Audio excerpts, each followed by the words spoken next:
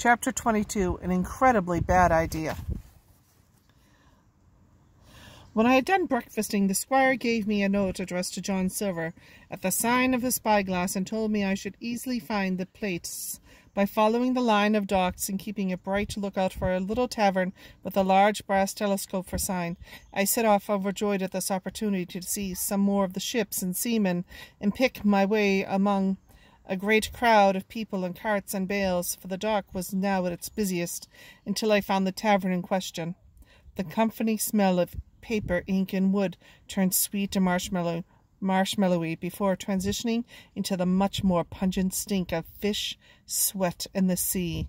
Tilly wrinkled her nose as the underlibrary dissolved around them and was replaced by a bustling, smelly dock.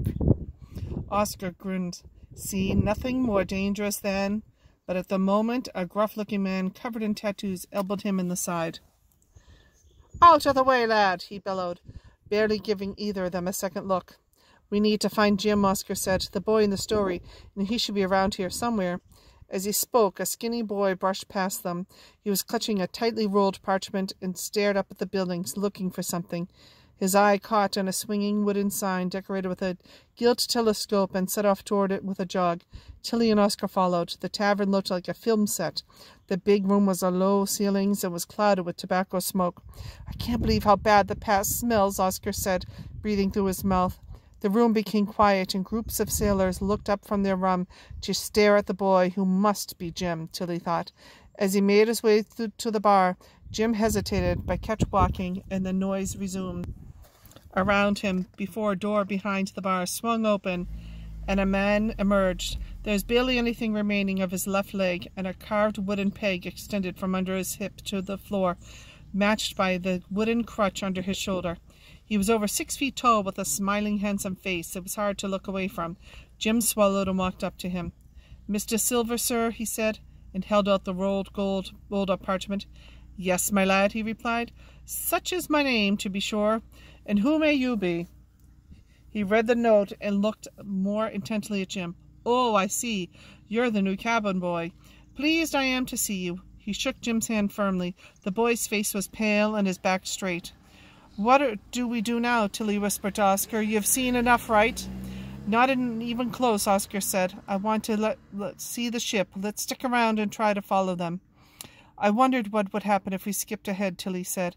Try reading a bit later. Can we jump forward, do you think? I don't fancy hanging around here for hours. Oscar pulled the book from inside his jacket and passed it to Tilly. You look, I don't find the bit quickly enough. I can't skim read like you can, he said. But, seriously, you do it. Tilly looked down at the list of the chapter titles. Okay, Chapter 10 The Voyage. Sound about right? She took Oscar's arm and started to read. The air around them fizzed and fuzzed, but instead of finding themselves back outside the, on the dock, they were standing deep in the creaking innards of the ship itself, in a lavishly decorated room with a huge desk at its center covered by a large parchment map. The room was lined with bookshelves with pile upon pile of rolled up maps tucked in between the spines. Uh, Tilly, I just wanted to see the ship from outside, you know. I don't want to worry you, but we probably shouldn't stay here too long in case anyone sees us. I know, I know, Tilly said, flustered. I don't know anything about this book. I thought it was a this bit was describing them getting things ready to go on board. I should never have wandered into something I've not read. This was an incredibly bad idea. It's fine, Oscar said. We can go any time we want, remember? We just have to read the end of the book. Like Seb said. And we'll go straight back to the underlibrary. Pass, pass it here. But as Oscar reached to take the book from Tilly, the wooden stairs in the corner of the room creaked, and one black leather boot and one wooden peg appeared, followed by the man wearing them, Long John Silver. What have we here, then? he said, coming toward them as Tilly held the book behind her back. Two stowaways. I'm sure you'll like where we're headed, laddies. He peered closer at Tilly. And a laddie and a lassie stowaway are we. It's fiendish bad luck to have a woman on board, so the legends go, and in the captain's quarters as well. Actually, sir, Oscar said, we've sort of ended up here by accident, so if you don't mind, we'll just get back off the boat. Silver tipped his head back and laughed, revealing a few missing teeth. Now, how, might I ask, did you end up here in esteemed captain's private rooms accidentally? He lurched closer. Who asked you to hide away in here? No one, I promise, Tilly said. We didn't realize these were the captain's rooms. We were just we were just exploring because Oscar likes boats, and if you just let us off again, that would be great. Thank you. Silver stepped back. Oh, why, of course, my lady, as you asked so politely. Allow me to take you wherever you're holding there, to aid your way. Smiling, he offered an arm to Tilly and took the copy of Treasure Island in his other hand. Let me accompany you to the deck. Oscar eyed the book but shrugged at Tilly and followed them, unsure that what other options they had. The ship rocked in the water as they made their way upstairs. Uh, not got your sea legs yet, I see. Ha ha ha! Silver laughed as the boat rocked on the waves between them. Tilly wobbled against him. Now here we are, just up here, there, and you two can be off and back to your. What was it you said? Oh, yes, your boat exploring. He smiled crookedly and bent into a sweeping bow. Tilly and Oscar clambered past him in final steps to deck to see the ocean stitched to the horizon with no land in sight. Chapter 23 This is why you should always follow the rules. Tilly and Oscar looked at each other in horror as Silver laughed again. Now, milady, he said, bowing sarcastically in front of Tilly, why don't you tell your old friend John exactly why you're aboard the Hispaniola and why we found you rattling around in the noble King Smollett's rooms? He examined the book in his hand. And why might you be borrowing this tome from his private bookshelves? He startled. He started when he saw the title of the book. Treasure Island! An interesting book for you to have selected. What do you know of the Isle of Treasure? And I wonder what our captain knows of it to have this here book among his collection. Tilly and Oscar stayed silent. Neither of them had a clue on how they might talk their way out of this. Not feeling talkative, let me give you a little time to think while I consult with some of my associates about what to do with you. Might not need to involve the captain quite yet. He took each of them by their shoulder in a firm, painless grip and maneuvered them back down the steps. But instead of turning toward the captain's quarters, he took them down another level into what uh, was obviously the ship's kitchen. Welcome to my galley, Silver said. I'm just going to ask you to wait here for a moment. But I'm a kind host, you'll see. He tossed them an apple each before he led them into a cupboard stacked with casks and locked the door behind them, taking the book with him. Tilly took some deep breaths, trying to calm down. What on earth are we going to do now? she said to Oscar. What happens if he reads the book and sees his own name in there? He doesn't know it's not real. Oh my goodness, it's such a bad idea to come here, Oscar. This is why you should always follow the rules. Oscar crunched his apple loudly and Lily, Tilly looked at him exasperated. No need to get hungry, is there? he said. Okay, just give me a minute to think, Tilly said. They both stood with their backs against the rough wood wall, Oscar crunching and Tilly pressing her fingers to her temples in concentration. Okay, okay, we need to get the book back, that's all. And we can get the book back and read ourselves out straight away, so we just have to grab it as soon as we see it. I don't think that'll go very well, Oscar said. He doesn't seem like a man who likes having his stuff grabbed, you know. But if we read ourselves out immediately, it doesn't matter if he make him cross. We just need to do it as quickly as possible. So when he comes back, then what? Silver said, opening the cupboard door. We were just hoping we could have our book back, Mr. Silver, Tilly said as politely as she could. I'm afraid that's not an option quite at this moment, my darling. Indeed, my friends are of the opinion that if you two aren't more forthcoming with some answers, then we'll have to enact a little sea justice. You understand it's not your old friend John's preferred manner of doing things, but sometimes it's important to uphold the illusion of democracy. We don't want a mutiny in our hands, do we? Not over a book. In fact, as the captain has just retired for his afternoon brandy, I'm going to take you upstairs to meet with some of them to see if you can satisfy their curiosity. If you follow me and there's no running off, a very few satisfactory places to hide in for long on a ship. Silver smiled. The deck was almost empty, save for a small group of distinctly unsavory looking men gathered in a huddle. Silver coughed, and they turned to leer at Oscar and Tilly. Now, gentlemen, where's that book? Silver said as they approached. A grimy man with a dirty rag tied over his eyes staggered forward with the look in his eye, with the book in his hand, and Silver sighed, eyeless Horace, an enlightened choice to try to discern the secrets of printed word. As always, I see that the particulars of a plan rest on my shoulders.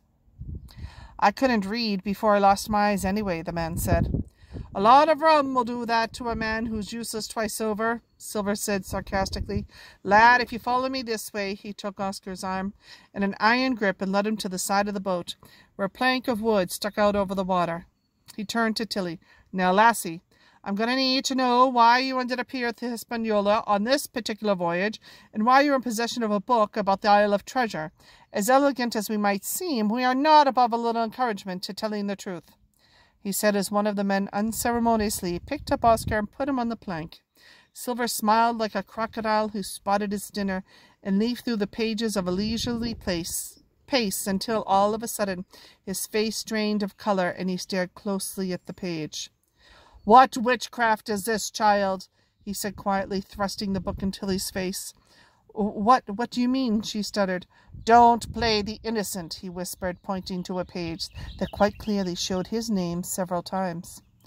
Where do you get this, Grimoire? Did Flint send you? Is the captain in this? Silver took a step toward her, forcing Tilly backward until she was pressed against the side of the boat where Oscar wobbled on the plank, trying desperately to keep his balance. You have one more chance remaining before you and your friend are dealt with once and for all. We may be pirates, but will not risk this vessel with sorcery.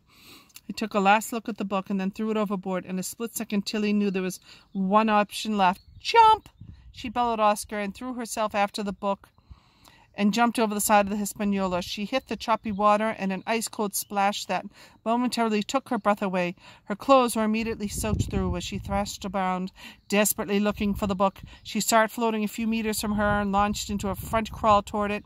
Waves slapped against her, rescuing it just as it started to become too waterlogged to stay on the surface. Tilly grasped and looked at us in horror, Oscar wobbled on the edge of the plank. You have to jump. I can't swim, he shouted down to her as one of the pirates climbed onto the end of the plank. Oscar, you have to, she shouted, and she tried to find the last page of the book while kicking her feet to stay above the waves. Aim for me. Oscar closed his eyes with her and she nodded. He closed his eyes and he, Oscar locked eyes with her and she nodded. He closed his eyes and launched himself off the end of the plank, arms and legs windmilling through the air as Tilly splashed toward him. He landed in the water, a huge splash, as the pirates jeered from the boat. He surfaced, but almost immediately started sinking again. We have to be touching, Tilly yelled, holding her arm out as Oscar's fingertips brushed hers as a huge grasp of gasp of air and bellowed the last end of the book. Pieces of eight! Pieces of eight! It was as if someone had pulled the plug off the ocean, and suddenly Tilly couldn't breathe properly as the underlibrary rebuilt itself around them. Oscar fell to his knees, coughing up water, while Tilly pressed her forehead against the wood of the wall, letting its reassuring warm solidness anchor her back to the dry land. They both stood dripping on the carpet as Grandad appeared at the top of the stairs. Tilly kicked the nearly disintegrated copy of the book under the table. Why on earth are you both wet? he asked. We fell in the sea, Oscar said without thinking. You fell in the sea on your own induction, Grandad said. We um landed in the wrong bit of a book, Tilly said.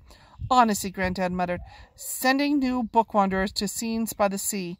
Standards are obviously slipping. Would never have happened in my day. Anyway, let's go. Goodness knows what we're going to say to your mama about the state of your clothes, though, Oscar. Although they got several funny looks on the train home, by the time they were back at Page's and Oscar's, Tilly's clothes were mostly dry, if slightly crusted with salt. Tilly, go and get changed and see if you can find Oscar a clean t-shirt to wear, Grandad said. We'll put these things to the wash while we're chatting. Fifteen minutes later, they were sitting around the kitchen table, with Grandad putting mugs of hot chocolate and plates of toasted brioche with cherry jam in front of them. Oscar was wearing a t-shirt with the cover of Phantom of the Tollbooth printed on it. How so how did it go? Grandma asked gently. It was awesome, Oscar said, grinning. Why didn't you tell me before? Tilly said. Why didn't you tell me about the bookwandering and that Granddad was the librarian? I thought you'd always lived here. Well, we've lived here a long time, Grandma said. This bookshop has been in my family for decades, and I've been in charge since my mum died years ago. But why is Archie called Pages, too? Oscar asked. Because he took my name when we got married, the same way people often take each other's names, Grandma said. We wanted to keep Page as a name because of the bookshop's legacy, Granddad said. Not to mention what bookseller or librarian wouldn't seize a chance of such a booky surname. The history of the shop stretches way back, Grandma said. You come from a long line of booksellers, Tilly. Your family tree is full of them, as well as librarians and writers and readers. It's in your blood. Oscar cleared his throat. Uh, I think I'm going to go home now and leave you guys for a bit, he said quietly, giving Tilly an awkward pat on the shoulder. Thank you for taking me today, and thank you for the t-shirt. I'll bring it back tomorrow. Grandma gave him a smile. Do come around tomorrow and we can chat further, Oscar. I know you must have more questions, and I'm sorry to be blunt, but you know you can't tell your mum about this. Like she'd believe me anyway.